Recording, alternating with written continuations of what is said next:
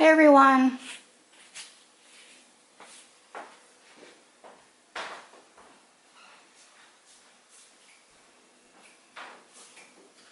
Okay, so today on this 16 inch round, I am going to first pop some bubbles.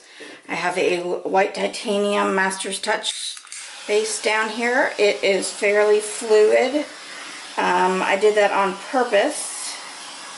I have a couple little lumps I need to get out.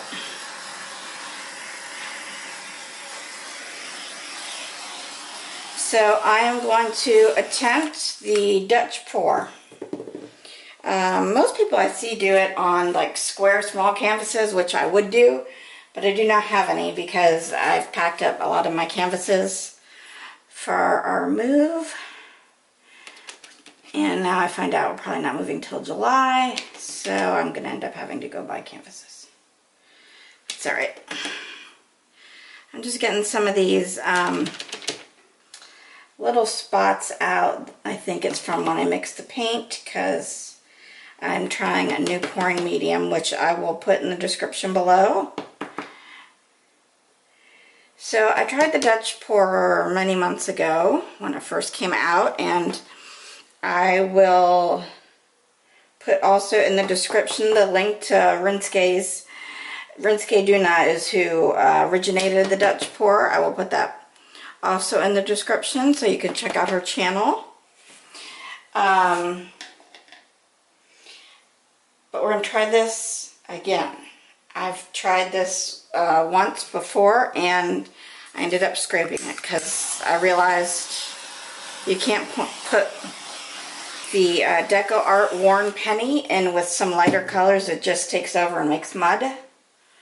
So lesson learned there. So I'm just sharing that for y'all, which, you know, y'all may not have made that mistake, but I did. So anyway, um, let me get some gloves on.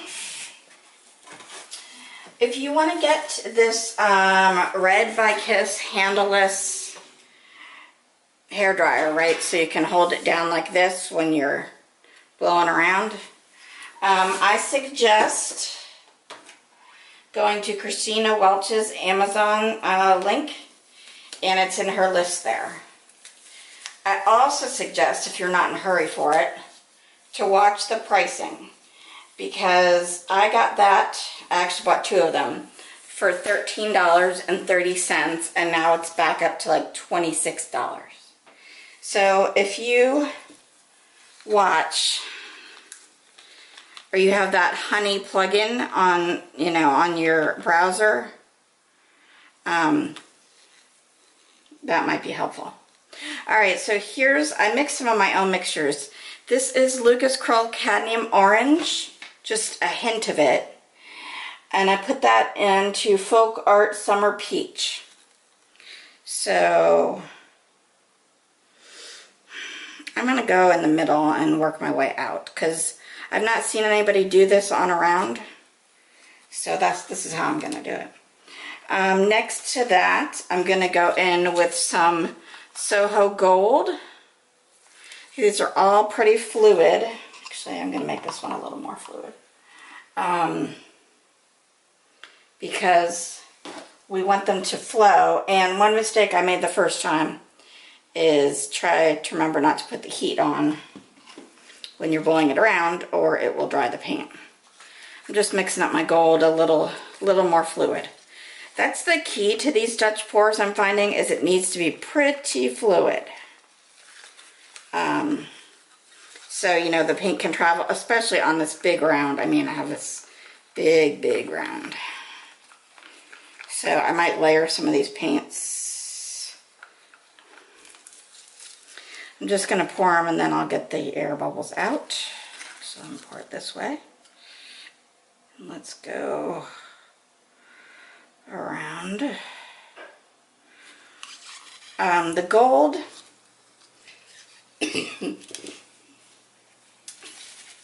last time I tried one of these pours, um, like I said, was a long time ago. Excuse me, I'm coughing. And I used um, I used gold, I used cadmium orange, and teal. and it turned out like this, which I really actually love. I'm not, I have this listed for sale, but if it doesn't sell, I'm fine. The gold in here is just amazing. So, kind of going with a similar color theme. Um, I'm going to go in with this cerulean blue.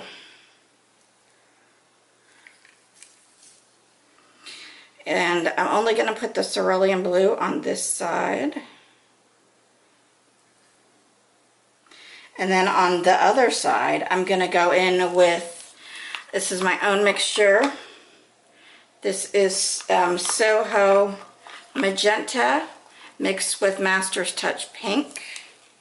Also going to stir a little white into that and maybe make it a little more fluid. Fluid is the key word here. This is truly a fluid art. Because if you do it another way, you could screw it up. Since this is around, I'm not gonna, it might look different, but I'm still gonna do the traditional, she pours the white around it type thing.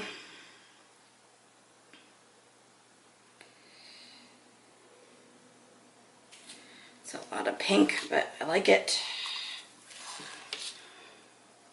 I'm gonna add a little more blue, so like that. It's like a, it's like a, are you having a boy or a girl? I'm gonna put a little more of this in the middle and stretch that out. Okay, that's enough paint. I can always add, but I cannot subtract. So I'm just standing to the side here, wiping my hands off a minute. And I'm gonna torch the bubbles, put down my white paint, and we're gonna see what we can do.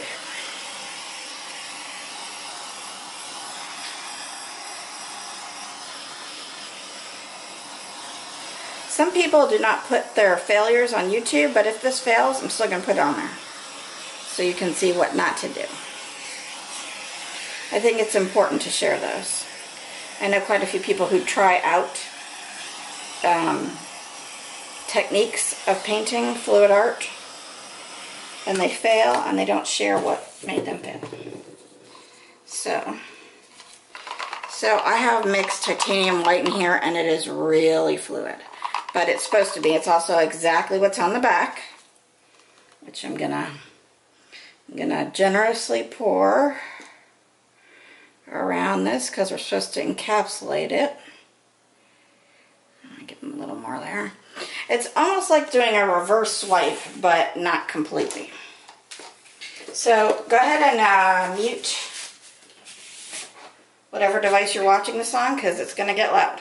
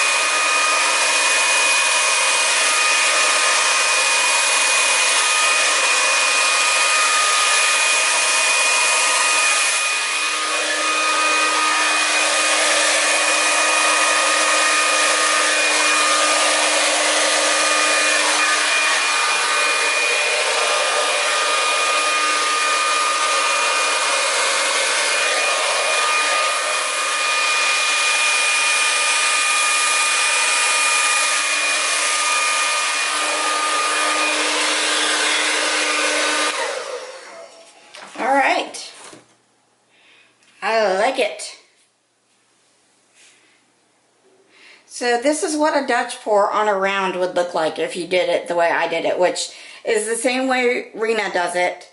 She, you know, puts the white around the colors. She typically uses, well, I've never seen her use around. She uses um, square canvases and she blows it out, which looks beautiful. Um, but I'm loving what I'm seeing here, so I'm stopping.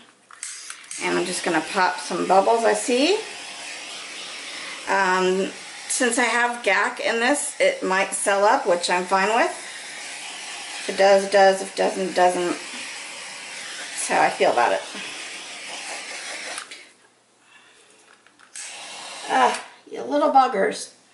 You, you just have to wait and because still, you know, things will come up. So let me let this sit for a few minutes and I'll bring you back for a look. Hey y'all. So I brought you down for a look. Um, this is from the angle I poured at. I think it's cool. I dig it. Um, I purposely at the end there brought blue this back up this way so some blue would come up there through the orange, which I'm really digging. There are a few cells popping up. Um, that is, and right here, that is because there's the GAC in my mixture, um, which I will put here. And you can see what I'm currently using. Also, um, I will link Rinske Douna's Dutch pour channel below. She created it, as I said in the video. But yeah, it's pretty cool. I like all the different colors. I would have been happy with just the blue, gold, and orange. But, or peachish orange. But I wanted to throw something different in there with the pink. So, yeah. Thanks for watching. Please smash that like button. Go ahead and subscribe if you haven't already. And I look forward to catching you on the next video. Thanks so much for watching, everyone. Have a great day. Hey y'all, it's Diane. So I came in after that first pour and I added more colors. And I did the same traditional Dutch pour um, but I'm much more pleased. Uh, there's very little pink in it now. There's just some pink up here and the tiny bit, you can barely even see it right here. So I'm leaving that there. That's cool because there's a little on the sides here. I'm just noticing now. But I think it looks really cool. I dig it. So I'm very pleased how this Dutch pour turned out. Go ahead and try it. It's a lot of fun. And be sure to catch me on my next video, everyone. Have a great day.